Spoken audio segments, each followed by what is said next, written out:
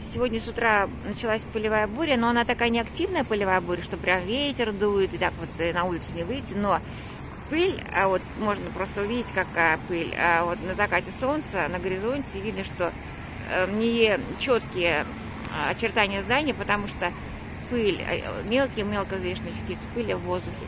И вот если посмотреть на ну, сайт погоды, там есть индекс качества воздуха, и вот показано, что сегодня в Абу-Даби индекс качества воздуха плохой. Именно по параметрам взвешенной частицы пыли.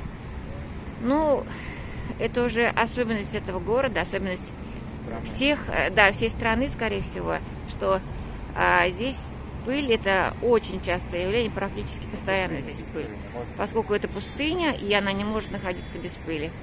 Но в любом случае здесь очень красиво, комфортно для проживания. И может только порадоваться за людей, которые здесь живут.